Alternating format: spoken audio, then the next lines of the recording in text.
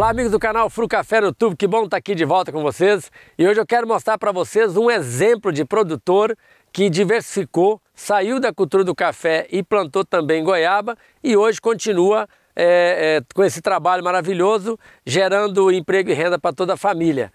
E eu gostaria de, antes de conversar aqui com meu amigo Pablo, falar aqui que o nosso Instagram está né, crescendo aí com o apoio de vocês e Instagram da Frucafé, arroba Frucafé Mudas, né?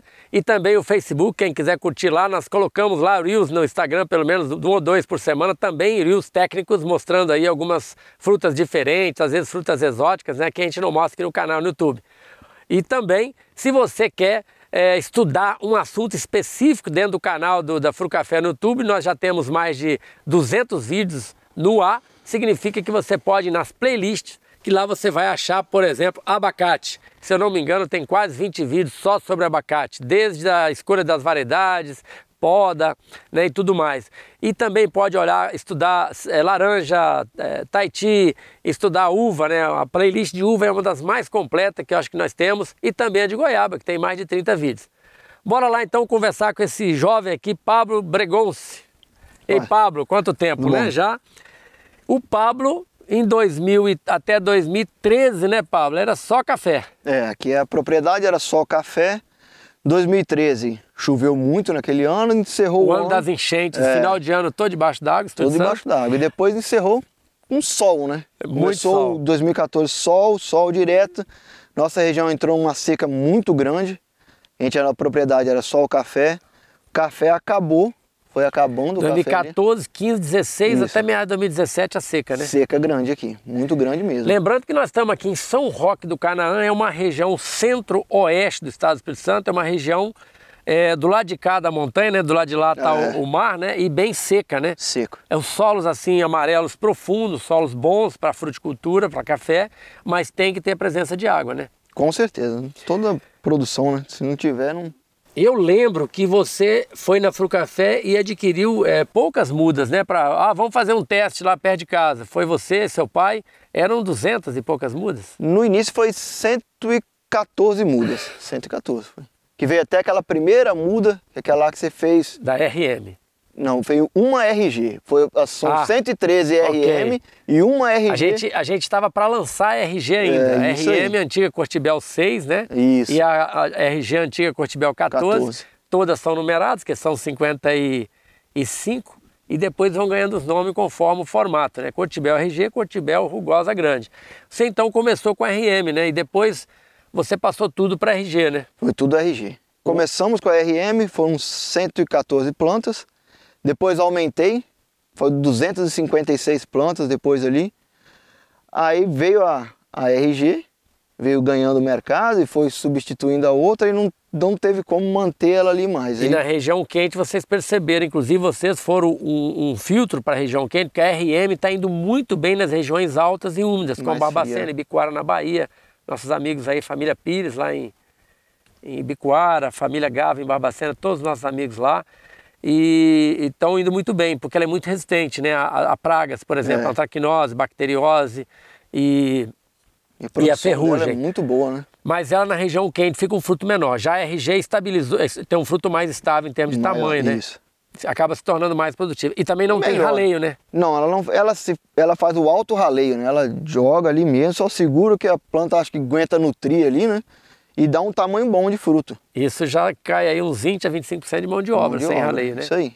Bom, aí praticamente o café da propriedade acabou, né? Em 2016. Não, praticamente não, ele acabou tudo. Tudo. Tudo. Café, a propriedade ficou sem café. Aí foi começando com a goiaba, aumentando. Aí eu ia lá, buscava 100 mudas, Isso 200, mesmo. fui aumentando, fui aumentando. Daí, quando o tempo começou a normalizar de novo, aí nós pegamos e voltamos a plantar café outra vez. Quer dizer, hoje você tem metade da propriedade, em torno de 4, 4 e pouco hectares de goiaba e 4 e pouco hectares de, de café. café. Isso aí. Vai continuar do jeito que está, então? Do jeito que está. Se eu tivesse mais terra, eu plantava mais goiaba. Mas eu não, a propriedade acabou agora. Só lembrando que aqui a região dele, é, ele está mais ou menos a 120 quilômetros da Ceasa Vitória, na grande é. da capital, Mas são 120 km bem sofrido, que tem um pouquinho de chão serra, e a serra, é. né? Então para caminhão não é tão rápido assim. Se fosse 120 km lá no Mato Grosso, seria rápido, né? Com certeza. e você tem feito um trabalho aqui muito bacana, desde o início, né? Com a Cortibel RG, que é a poda de talhões, né? Poda de talhões, isso aí. E, e, e a gente tem aqui, por exemplo, né? Você tá aqui, ó, com essa, olha que maravilha aqui, gente. Dá para mostrar aí, William? Já tá no meio da safra aqui, né? Pablo? Já, já. Aqui, ó, goiaba bem madura, olha aí. Aqui um pouco mais no ponto de colheita. Essa goiaba, inclusive, aqui você falou que essa semana vai para a indústria, né? Você está deixando madurar mais aí para ir para a indústria. Essa vai para a indústria. A RG tem aceitado bem? A indústria tem aceitado bem a RG? Como é que tá? A perca dela é muito pouca, né? Quase zero de, de perca de goiaba para a indústria. Ela tem muita polpa. Segundo alguns amigos, não sei, o seu, o seu cliente da, da indústria, ele tem, ele, parece que o aproveitamento da Cortibel é quase 100%. Quase 100%. Pouca semente, né? Pouca. Ah, quando ele me falou lá, estava dando em torno de 98% de aproveitamento da goiaba. Show de bola. E também ela é muito boa para doce, né? E gelés, porque ela tem mais fibra e menos água. A goiabada cascão, né? Ela é, é. excelente para fazer essa... Isso aqui são goiabas de 300 gramas, né? Fácil. Mais ou menos. É. Então, pessoal, tá aqui, ó. Aqui ele tá colhendo. Aqui atrás, ó, em cima, nós temos aqui, ó, o talhão. Que aqui você praticamente vai dar a última catada A última semana, passada, né? isso. Já vai entrar para poda aqui já. E aqui você podou há duas semanas. É, no máximo tem uns 15 dias, é. Exatamente. Então você está podando aqui, você tem, você tem quantos talhões ao todo? São 13, 13 talhões agora. 13 talhões. E você poda a cada, a cada quantos, quantos dias? 14 dias. 14 dias. Isso. Você falou que você observa, tem observado a lua? Lua, isso. A gente gosta de fazer assim, lua cheia e lua nova. Tem gente que vai falar, ah, superstição, isso aqui. Só que você podar na lua cheia e na lua nova dá diferença. Lua crescente e lua minguante dá diferença na goiaba. Mas da lua cheia e da lua nova, vamos descartar então a crescente minguante. Da lua cheia e lua nova, você já percebeu alguma diferença? A cheia é melhor. É melhor. A cheia é melhor. O seu Zé Corte sempre falou bem da lua cheia, é. né? Parece que a energia está mais nos ramos, então você pode, ele brota melhor com flor, né? Mas o... Segura mais goiaba, parece. Isso vai dar, isso, isso vai dar cerca de 200 dias, né? Ainda fica faltando aí, quando você chega no final, aí fica esperando o quê? Uns 40, 50 dias para é, começar de novo no talhão 1, né? Pelo, porque aí para 14 podar, dias né? você teria que ter aí 16, 18 talhões para fechar o ciclo direitinho da, uhum. da, goiaba, né? Que são em torno de 7 meses do, da poda até colher e podar de novo, 7 meses e meio, né? No inverno atrasa, atrasa um pouquinho, Atrasa um né? pouquinho, é. Porque esfria, né? Mas uma coisa que o Pablo é, é, tem feito aqui, a gente tem acompanhado, e cheguei aqui hoje, eu fiquei impressionado com a qualidade da, da, folha, da planta, da saúde da planta. Você já sofreu muito aqui com psilídeo, né? Psilídeo era um problema sério aqui. A gente vai deixar uma imagem aí do psilídeo no, no vídeo para vocês verem, uma praga que causa é, é, muito danoso, principalmente para a brotação inicial brotação, de uma isso. planta pós-poda, né? Isso aí. Se pegar na, na quando está começando a soltar os botãozinhos de flor, você perdeu a safra. Mas tem o que? Uns dois anos para cá você andou mudando o seu jeito de trabalhar para. É, pra... Um ano e meio, mais ou menos, eu comecei a mudar. E o que, que você tem feito, por exemplo? O que, que você acha que foi o número um na sua mudança assim? Primeiro, correção de solo, análise de folha, análise de solo. Fiz a correção. Correção do pH? Do pH, do solo. Colocou calcário? Isso. Estava em quanto? Olha, o pH do solo aqui, ele estava um pouquinho ácido ainda, estava alto ainda. Próximo de 5? Não estava mais. Mais baixo ainda? Tava. E aí você, você, você fez calcário? Eu fiz o calcário. O calcário você faz nessa fase aqui que está colhendo, né? É, na época que eu, que eu fiz, estava quase tudo parado o pomar. Eu vim, fiz Fez tudo, tudo tudo, fiz tudo. Fiz correção de micro. É... O que estava faltando de micro aqui, você lembra? Boro estava baixo. Boro, que é um problema para goiaba. É. Inclusive dá muita goiaba defeituosa, né? Zinco. Zinco. Estava baixo. Pegamento de flor tem é. a ver é. com zinco. Estava baixo. Aí eu fiz um... Tem uns outros agora que eu não estou lembrado. Mas eu fiz, o, o rapaz me passou um, uma correção aqui de, de, de micro feito na mão. Okay. Jogava certinho, tá o BR7 que eu usei aqui. FTE BR7 ou 8? FTE BR7. Só para a gente entender, por exemplo, esse, esse, talhão aqui que você vai podar, Pablo, é, o que, que você já fez aqui preparando ele para poda? Fez alguma coisa ou quando é que você começa a fazer esse trabalho com micro, micro, micronutrientes, com, com... Eu, na verdade, eu faço aqui, podo, agora eu, já, eu não coloco nada. Nada? Podei, fiz tudo certinho, tá, limpou o pomar, podou, pulverizei ele, aí eu vou fazer um, uma adubação à base de fósforo, uhum. um pouco de matéria orgânica também ali. Que fósforo você está usando? Eu estou usando um... Ele é, tem, tem os micronutrientes completos, tem... É, é um fosfato reativo? Matéria orgânica. Ah, tá. E o fósforo dele nem é tão alto, porque a terra não está exigindo tanto. Ok. Então ele, eu, eu esqueci agora o nome do... É um tipo orgânico mineral, é um, é, é um orgânico mineral. É, uma mistura aí. de matéria orgânica com... Com, com isso aí, com nutrientes. Com química. Aí você, é, você faz nesse, a semana após a poda que você vai fazer é, essa aplicação. Isso aí. E depois? Aí só depois que a goiabinha já se definiu o que, que vai ficar, o que, que não vai, aí depois eu começo devagar um nitrato de cálcio, vou, vou devagarzinho. Você não usa nenhuma forma completa de NPK? Não, eu vou fazendo. Você vai fazendo. Separado de acordo com que a terra exige, entendeu? Vou colocando potássio, a quantia que exige ali. Vou colocando um magnésio, a quantia que exige. Vou tirando parte de cloreto, eu tirei para evitar queimar muita raiz. Aí né? qual fonte de potássio você está usando? Sulfato e no final eu vou entrando com nitrato. Certo potássio. O sulfato ali mais no meio é interessante por causa do enxofre, né? Isso. E já o nitrato para melhorar o brix da, da, fruta no final. No final. Dá mais peso, dá mais Você está dando pequenas doses então? Pequenas doses. Via fértil ou manual? Via fértil. Via fértil. Interessante isso. No final aí, é, quantas aplicações você está fazendo? Ah, em torno de umas seis aplicações. Eu faço umas três na fazinha da goiaba mais ou menos ali. E no final fazendo assim, começou a querer a goiaba mudar para começar a engrossar, eu vou fazendo já mais intenso ali no final. Você não falou três. de nitrogênio até agora? Não, nitrogênio eu zerei aqui porque psilídeo, então o cara que vem dando acompanhamento, a gente também vai olhando, né? Sim. A gente foi vendo que cortou o nitrogênio, acabou o problema. O nitrogênio que você está dando é só o que está às vezes no sulfato ou no ou nitrato? no nitrato, é, o único que entra. É, a dosagem bem baixa, nada só. de ureia, sulfato de amônio nada, puro, nada. Nada, nada. Isso é interessante, pessoal, tá vendo? Às vezes a gente tem, é, a gente se preocupa em matar a praga, né? Às vezes você pode evitar que ela evitar chegue ela. e se multiplique, né? E aí a adubação tem tudo a ver, né? Nutrição tudo Irrigação, como é que tá? A irrigação ainda é feita no sistema de bailarina, né? Uhum. A gente tem aqui, tá em torno aqui de 130 litros por hora. Essa aqui coloca aqui. Dia sim, dia não? Como é? Cada dois dias, mais Cada ou menos. Cada dois dias? É. Cada dois dias eu faço. Uma hora? uma hora e meia, até duas horas. Pouco mais de 100 litros a cada dia sim, dia é. não. Dois dias ali. Cada dois dias. Você deixa de irrigar dois dias Isso. e irriga no terceiro. Porque na verdade o solo aqui ele prende muita água, ele segura muita umidade, né? E tem uma camada orgânica boa ainda, forrageira então, Você está irrigando praticamente duas vezes e alguma coisinha por semana. Por semana, é. Muito interessante, né? Essa ideia de que uma planta perene não precisa de tanta água, né?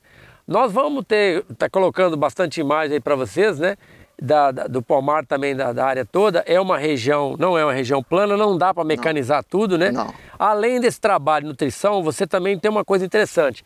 A cada a cada quantas carreiras de goiaba você tem um carreador desse? Ah, umas quatro, no máximo cinco carreiras. Cinco carreiras. É. E você usa um sistema de pulverização superior, isso, né? Isso, isso aí. Que você passa por aqui com o trator e jogando para lá e de depois Ao de baixo para cima. Isso. Ou seja, você não anda no meio do pomar pulverizando. Não.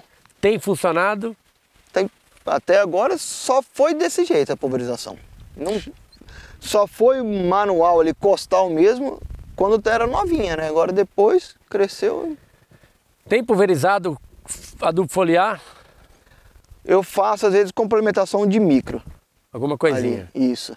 Caldo focáustica?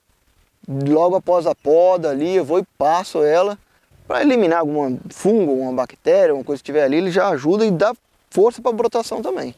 Ou seja, você baixou o custo também de adubação, baixou Baixei. o custo de pulverização, está colhendo goiaba boa, está vendendo para o mercado de mesa e também para a indústria, né? Indústria, Como nós já falamos no início do vídeo. E você hoje, né? É, café e goiaba, está é, satisfeito? graças a Deus, não posso reclamar não. Se fosse só café, estariam todos em casa como está hoje ou teria alguém que tem que buscar um trabalho fora? Pai, se tivesse continuado só o café, bem capaz nem estaria todo mundo aqui não. não ia estar tá, não, acho. Você mesmo, quando começou a plantar goiaba, você estava fora. Fora, né? É. E você voltou para a propriedade, né? É, eu voltei. Na verdade, eu tive aquele problema no né? Acidente, amputei a perna e tal. Aí já não trabalhei fora mais. Fui ficando em casa e olhando mais as coisas em casa, eu até acredito que eu tive consciência que se eu tivesse ficado em casa sem sair, eu tinha ganhado mais em casa. É. Isso é importante, né? O filho do produtor virá também produtor fez, estudou, é, então ele consegue também ajudar mais na questão da gestão, né? Quer dizer, é. e o seu Elvés, pena que ele não está aqui hoje, né? Ele teve uma, uma consulta médica para falar dessa alegria dele de ter esse pomar aqui. A sua mãe participa, né? Seu tio, também. tá todo mundo envolvido, todo né? Todo mundo, a família. A gente chega aqui às vezes, ele tem um belo galpão de classificação também, não está colhendo hoje, mas é, como a gente veio ali no NECO hoje fazer um vídeo próximo, está aqui tudo próximo, né? a gente acabou vindo aqui fazer. Mas o importante, pessoal, que a diversificação, ela muda a realidade da família, né, Pablo? Com certeza. E muda também a perspectiva. A fruta, ela dá uma renda, toda semana tem dinheiro. É, toda semana você consegue fazer um dinheiro ali para ir mantendo as contas e na verdade ela, ela mantém conta de casa, ela mantém a própria cultura e mantém a cultura do café. O café, então, no final vai sobrar limpo. É, o café, ele... Lá em junho, quando você terminar de colher, ele vai estar tá limpinho. Com certeza. Né? Se Deus quiser. Pessoal, nós batemos um papo aqui com o Pablo Bregonce, aqui em São Roque do Canaã, Estado do Espírito Santo, uma região aqui centro-oeste, né? Ele está muito satisfeito aqui com a Cortibel RG. Ele está pensando em comprar mais terra para plantar mais, que ele gostaria de ter mais. Uma gostaria coisa também que é importante, né, Pablo? É a pessoa ter um volume legal de fruta, né? Porque para é. você entrar no mercado com mais segurança, pelo menos 4, 5 hectares, talvez até uns até 10, né? Até, um, até mais. Porque você entrar com pouca coisa, você não vai conseguir manter o mercado, você não vai conseguir manter um cliente e falar, não, você pode confiar que eu vou te manter o ano inteiro. Você não vai conseguir fazer a isso. A frequência aí. de entrega de é um entrega, diferencial para conseguir um preço melhor. Isso mesmo. Né? Sem dúvida, a, a diversificação é importante, a cultura certa é importante, né? E ah, o Pablo, se ele tivesse mais terra, talvez poderia também ter uma outra fruta que dá menos trabalho, como um abacate, por exemplo, abacate. Uma, uma tangerina, né? Abacate tem aquele pedacinho mais morrinho ali, vai ser, eu vou plantar ali. Vai plantar, né? Vou. E aqui pode plantar o geada que você vai ganhar dinheiro, que ele vai amadurecer aqui em dezembro, janeiro. E eu tô querendo... Ah, agora eu vou fazer uma confissãozinha aqui. Uhum. Quando a gente foi comprar as primeiras mudas lá, Aí eu, eu lembro, eu até falo, a gente comenta direto isso aqui em casa aqui. Fala, ah, o Erli aquela vez falou, você vai querer o mercado o quê? Só é, supermercadozinho na beira de casa e tal, planta só 600 plantas. Um hectare. É. Agora, se você estiver pensando em um mercado maior, de 3 mil plantas para cima. Aí na época a gente tinha experiência, não conhecia nada. Esse cara, você está querendo fazer comprar muda à toa, eu tô achando. Vender muda. É, tá querendo vender muda aí. Depois que a gente aumentou e viu como que é o mercado, aí eu sempre falo, o Erli falou aquela vez lá, que sete anos atrás, e estava certo. Se você não tem volume, não tem frequência para entregar, você não vai ficar. Então, ou você produz e se junta com mais três ou quatro vizinhos, é, ou você planta um volume um pouco maior, maior, principalmente nessa distância maior do mercado, né? O mercado grande, né? Isso. Que compra caminhão fechado. Senão você realmente tem dificuldade. Até a indústria não, compra, não, não consegue Pouco. comprar mil hum, quilos por não, vez ou 500 quilos. Só pega 3, 5 toneladas para é cima. o cara vai sujar um maquinário que processa ali 4, 5 toneladas com meia hora, vai sujar o maquinário dele todinho para processar ali 600, 1 quilo ou, ou, ou mil quilos ali. Só então... para curiosidade, para encerrar nossa conversa, o que, que você está conseguindo aqui é, de produção por planta ou semanal? Por, por, planta aqui, eu, eu, não cheguei a pesar mais ou menos, mas está dando em torno ainda de 140, 160 quilos por planta aqui. Por poda? É, por safra. Então você, você aqui consegue uma safra e meia por ano? É. Se for dividir certinho, é uma safra e meia, mas um ano você faz uma, outro ano você está fazendo duas. Sim, exatamente, Sim. exatamente. Então isso estão falando de mais de 200 quilos por planta ano. Né? Sim. Show é de bola. produção muito boa mesmo. Você tem aqui cerca de 2 mil plantas, né? É, 1.600, mais ou menos aí. Show de bola. Falamos aqui com o Pablo. Pessoal, é, lembrando né, do Instagram da Frucafé, se você ainda não é seguidor lá, fruca, arroba Frucafé Mudas. Lá tem Reels toda semana. E se você quiser falar com o Pablo, nós podemos deixar seu contato aqui na descrição, Pablo. Pode deixar. Para comprar goiaba, para discutir com ele, falar com ele sobre esse trabalho de goiaba, vai estar o contato dele aqui na descrição do vídeo, no texto que tem aqui abaixo do vídeo. É muito importante vocês entrarem aí. Tem também todos os contatos aqui da Frucafé, se você quer adquirir mudas de goiaba Cortibel. Se você também quer adquirir mudas de goiaba no varejo ou de outras frutas, né? A Frucafé não atende varejo, mas ela fez uma parceria com uma empresa chamada As Plantas Online, que fez uma parceria com uma boa transportadora e está entregando mudas no varejo em todo o Brasil para você que é dona de casa, sitiante, quer comprar uma boa muda de abacate, de laranja, de, de chacharu, de goiaba e etc e tal, de coco. E aí você pode entrar no site e comprar que a transportadora vai entrar na sua, entregar na sua casa.